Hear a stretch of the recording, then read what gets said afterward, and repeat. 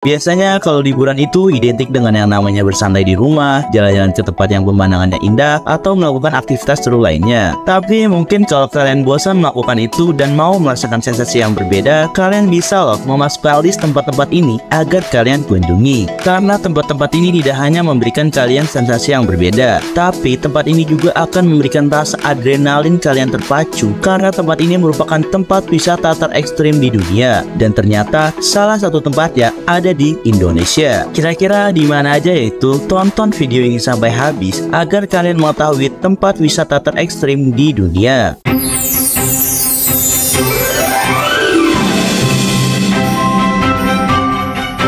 Yang pertama, Death Valley, Amerika Serikat. Tempat ini berada di perbatasan California dan Nevada. Tempat ini merupakan lembah gurun dengan suhu yang sangat ekstrim karena pada Juli tahun 2018 lalu, suhu di tempat ini mencapai 56,7 derajat Celcius. Wah, panas banget ya. Walaupun memiliki suhu yang panas seperti itu, tapi banyak orang yang berkunjung ke tempat ini untuk melihat sunset dan sunrise di Bukit Pasir Mesquite, mendaki Goose Golden Canyon Gower, hingga berkunjung ke kota hantu Riolit. Dengan suhu yang sangat panas seperti itu, maka disarankan kalau mau datang ke tempat ini saat musim semi yang berlangsung di bulan Maret hingga bulan Mei. Karena kalau di musim panas, kalian akan merasakan suhu panas tersebut. Tapi kalau kalian mau simulasi masuk neraka, ya silahkan.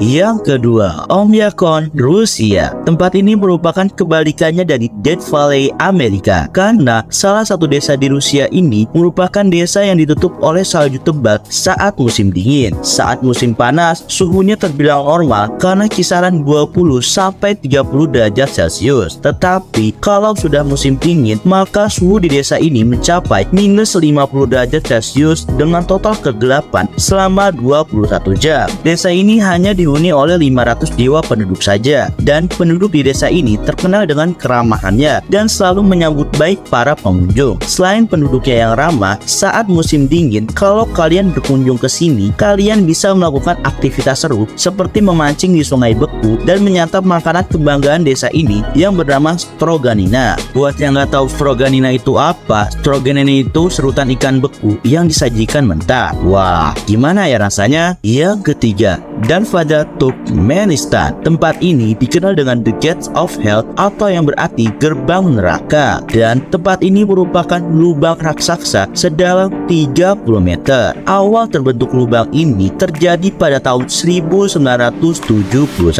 Ada insinyur Uni Soviet yang mencari cadangan minyak di gurun Karakum. Bukannya cadangan minyak yang ditemukan, malah insinyur menemukan cadangan gas alam yang berada di goa bawah tanah. Tetapi sayangnya tidak lama kemudian gua itu runtuh dan gas metananya menyebar ke mana-mana. Katanya untuk mencegah gas beracun dan demi keamanan, para ilmuwan di sana sengaja melemparkan korek ke lubang raksasa itu dan membakarnya. Pada awalnya, Turkmenistan pernah mempertimbangkan untuk mematikan api tersebut. Namun, pemerintah setempat memutuskan kawah ini dapat digunakan untuk meningkatkan pariwisata. Kawah metana yang berkobar ini menjadi salah satu daya tarik wisata di negara yang dikunjungi sekitar 6.000 wisatawan mancanegara setahunnya. Dan kalau kalian mau ke sini, tenang aja, kalian tidak akan sendiri karena di sini akan selalu diadakan tur untuk melihat api yang berasal dari gas alam ini. Yang keempat, Madidi National Park. Jika tempat sebelumnya ekstrim karena suhunya, tempat ini ekstrim karena tanamannya. Hutan lebat seluas 19.000 km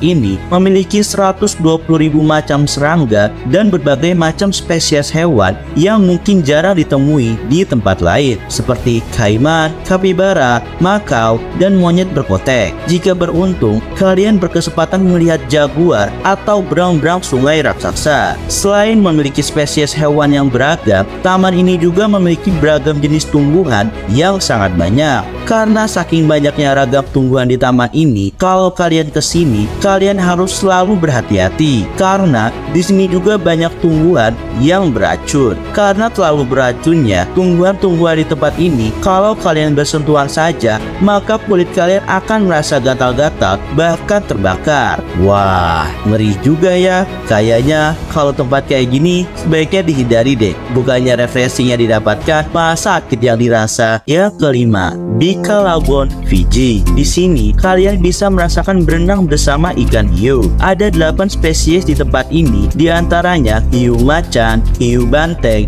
black tip, dan beberapa spesies hiu lainnya. Kalau kalian ke sini, tenang saja karena kalian tidak akan dibiarkan berenang sendiri. Bakal ada penyelam profesional yang menemani kalian untuk melihat hiu-hiu dari dekat. Nantinya, para penyelam akan memosisikan diri sebagai pelindung dengan berada di antara kamu dan kawanan hiu. Tidak hanya melihat hiu dari dekat, kalian juga akan melihat penyelam itu memberi makan hiu-hiu ganas itu. Dan tenang saja, bukan daging kalian kok yang akan dikasih penyelam itu.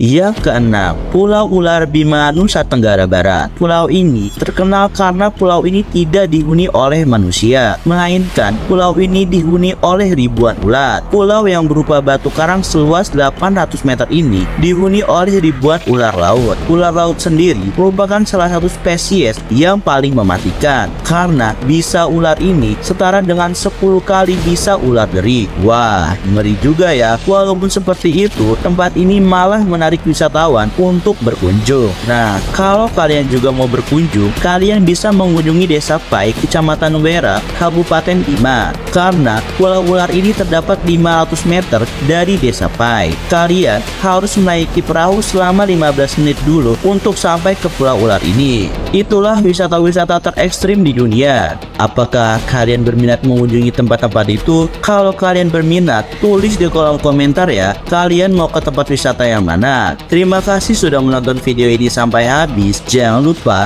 like dan subscribe channel Media Semesta agar kalian tidak ketinggalan video-video menarik lainnya. Sampai jumpa di video selanjutnya.